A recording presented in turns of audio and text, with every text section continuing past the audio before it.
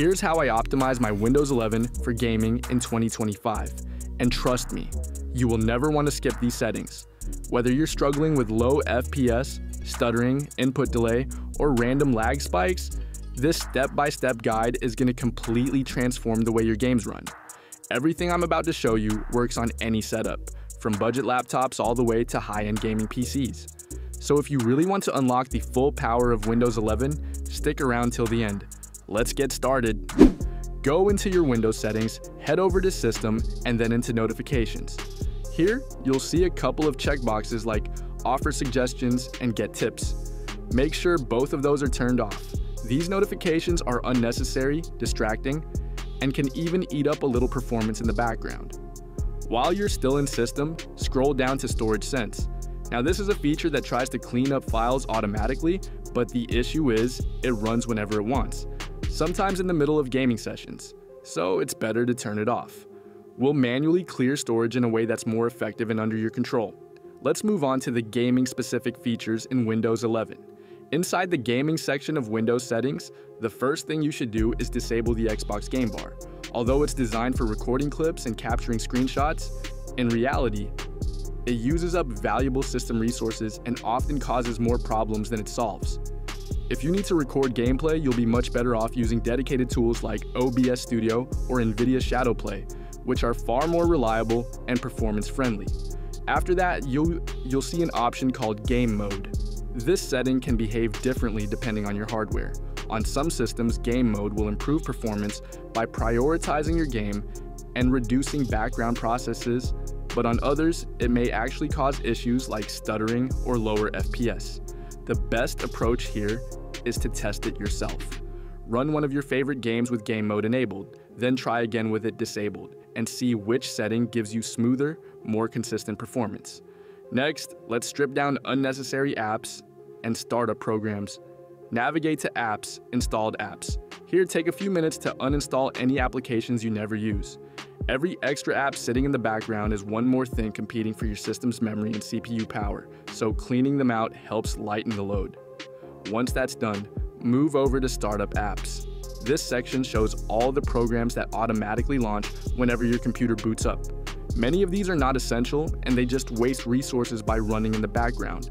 Disable anything you don't need, especially those labeled as high impact, since these are the biggest performance drainers. While you're still in settings, head into privacy and security. Under the general tab, disable all the default options at the top, as most users don't actually need them.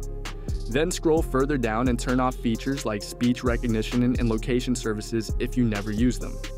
Another important section here is diagnostics and feedback, which is constantly sending data to Microsoft in the background. Disabling this will free up bandwidth and reduce unnecessary system activity. Finally, check the app permissions list. If you see apps requesting access to things like your camera, microphone, or location when they have no real reason to use them, simply switch those permissions off. Not only does this help performance, but it also gives you more control over your privacy. Another major improvement you can make comes from tweaking the visual effects in Windows. To adjust these, search for Adjust the appearance and performance of Windows.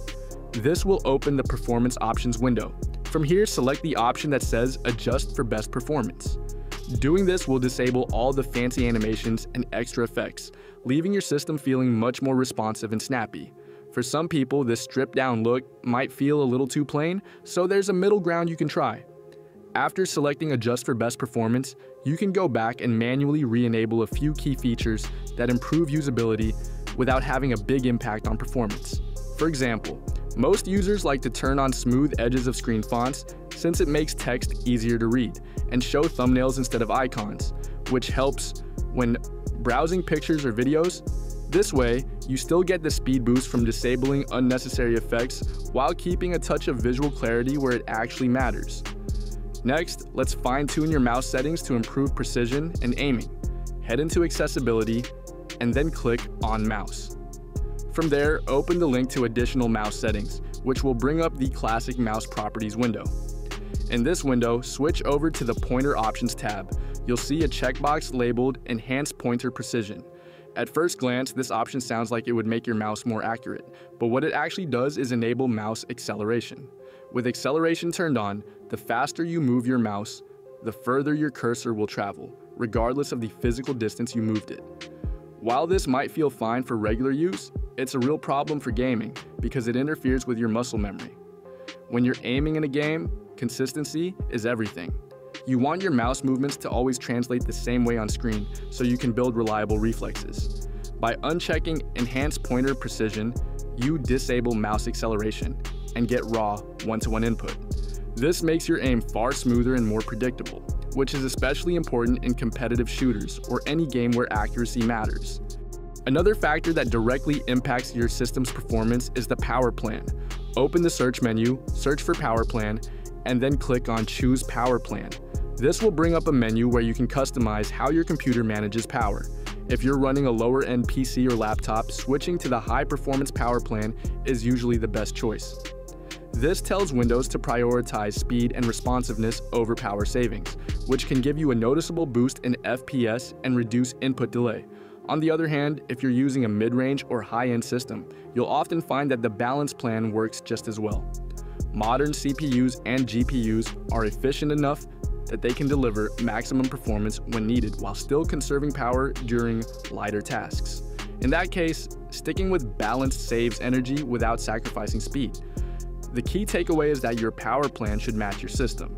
Choose high performance if you're trying to squeeze out every bit of power from a weaker setup, or stay unbalanced if your system is strong enough to deliver great performance either way.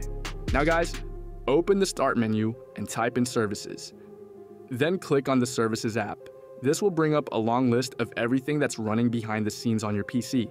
Scroll through the list and look for services that are unnecessary for most people. A good example is the fax service, which is only useful if you actually connect your computer to a fax machine, something almost no one does anymore.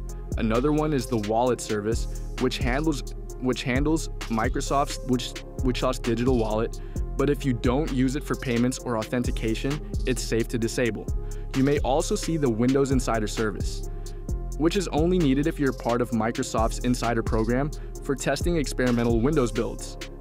If you're not in that program, disabling it will have no negative impact.